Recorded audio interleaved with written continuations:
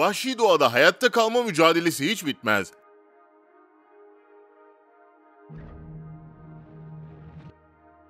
Peki birebir de kim kazanır? Köpek leoparın boynunu ısırarak büyük kedinin hareketlerini kısıtlayabilir ve çatışmanın kontrolünü ele geçirebilir. Öte yandan eşit bir dövüşte büyük kedinin üstünlüğü var gibi görünüyor. Yine de bazı köpek türlerini leoparlara çok rahat kafa tutabiliyor. Leoparlar inanılmaz kaslı bir yapıya sahiptir ve avlarını kolayca ağaçların arasına götürebilirler. Leopar ne kadar güçlü olursa olsun köpekler arasındaki sadakat hayatlarını kurtarmaya yeter. Leopar'ın şu anda ne planladığını tahmin etmek zor değil. Vahşi kedi gecenin karanlığından yararlanıyor. Eve giriyor ve köpeği yakalayıp götürüyor. Bu videoda yalnız bir leoparı avlayan bir köpek sürüsü görüyoruz. Köpekler büyük kedinin etrafını sarmış, zayıf noktasını bulmaya çalışıyorlar. Ancak leopar hafife alınacak hayvan değil. Sürüye karşı kendini savunmak için gücünü ve çevikliğini kullanarak karşılık veriyor. Bu hayvanlar alemindeki sürekli hayatta kalma mücadelesinin sadece bir örneği.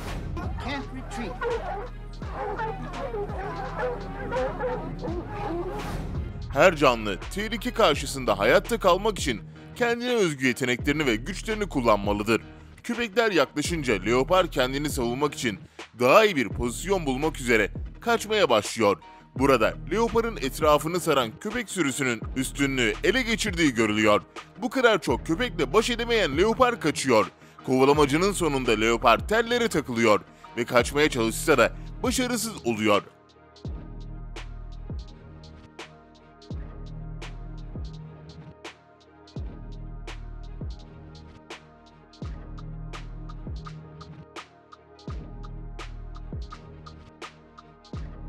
Leopar bahçedeki bir köpeği alıp götürüyor.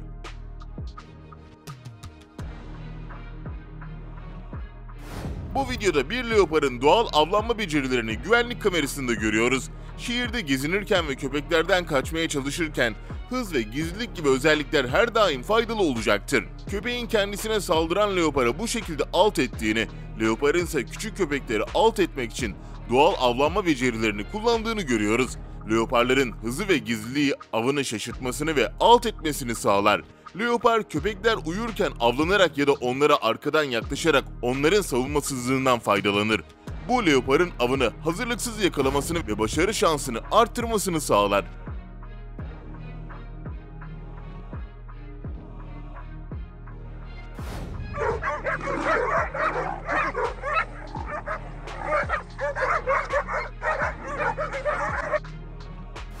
Leoparlar 6 metre yüksekliğe zıplayabilen hayvanlar. Bahçeye giren leopar oradaki köpekleri kolayca avlıyor. Bu görüntülerde leoparın daha küçük bir yavru köpeği avlamaya çalıştığı ancak daha büyük olan köpeğin arkadaşını korumak için cesurca devreye girdiği görülüyor. Yavru köpeği leoparın pençesinden başarıyla koruyor. Ne cesur bir arkadaş.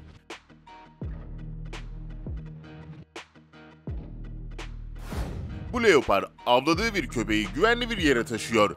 Leoparlar avlarının diğer yırtıcılar tarafından çalınmaması için yükseğe çıkmayı tercih ederler. Bu büyük kedi avını seçer ve sessizce saldırır. Avını yakalayarak nefes almasını engeller. Leopar burada kare koruz olduğunu düşündüğüm köpeğe saldırıyor. Ama köpek düşündüğü kadar güçsüz değil. Farklı insanların çektiği ve bize sunduğu bu videolarda köpeklerin evlerini işgalci leopara karşı savunmak için doğal bölgesel içgüdülerini kullandıklarını görüyoruz. Leopar alanlarına girdiğinde köpeklerin bölgelerini korumaya yönelik ilkel dürtüleri devreye girer.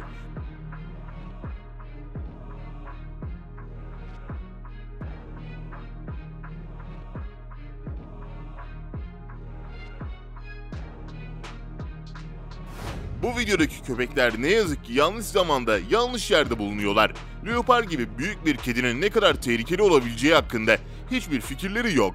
Leopar varlığından habersiz köpekleri yakalamak için gizliliğini ve hızını kullanıyor. Gördüğünüz gibi vahşi doğada hayvanların hayatta kalabilmek için her zaman çevrelerinin ve potansiyel tehditlerinin farkında olmaları gerekiyor. Bir başka videoda leopar kendini savunamayacak halde uçurumdan aşağı sürükleniyor. Bu durumda köpek sürüsünün üstünlük sağladığı ve leoparı başarıyla alt ettiği açıktır.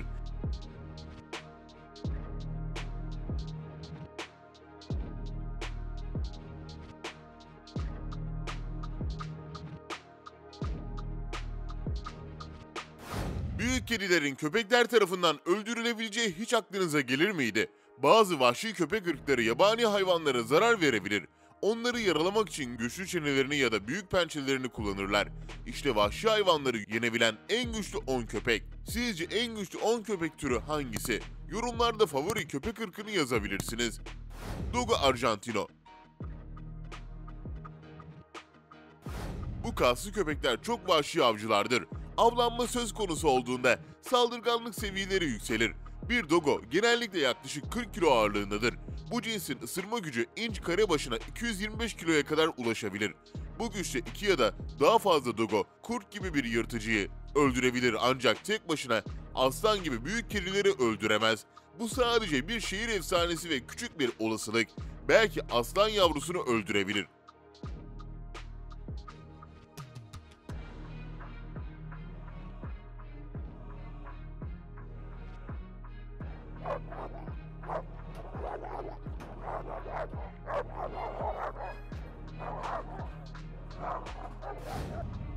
Kangal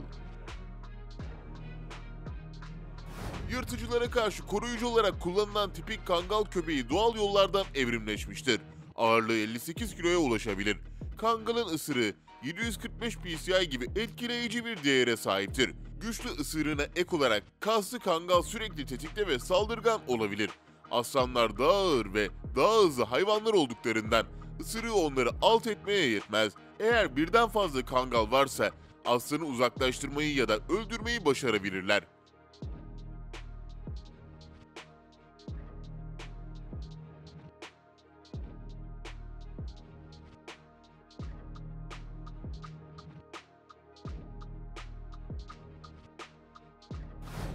Rottweiler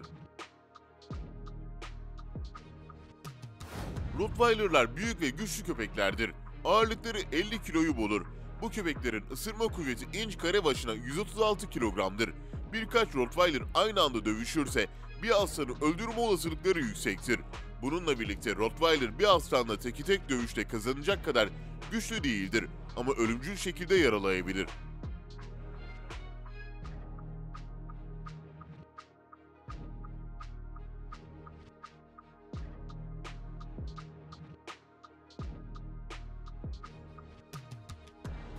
Tibet Mastifi Bu eski cins bekçi köpeği olarak yetiştirilmiştir. Ağırlığı 68 kiloya kadar çıkabilir. Bu köpekler özellikle bölgeleri söz konusu olduğunda agresiftir. Tibet Mastifi 556 psi ısırma gücüne sahiptir. Yetişkin bir Tibet Mastifi bir aslan, kaplan veya ayı ile savaşmak zorunda kalması durumunda etkili bir savunmacıdır. Tek başına bir Tibet Mastifi bir aslanı öldüremez. Aslanı yenmek için bir arkadaşı ihtiyacı olacaktır.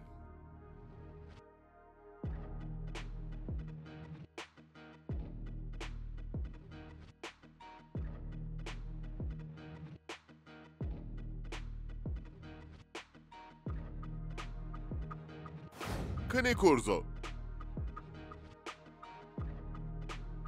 Corso'nun ağırlığı yaklaşık 50 kilogramdır. Isırma kuvveti inç kare başına 315 kilogram civarındadır.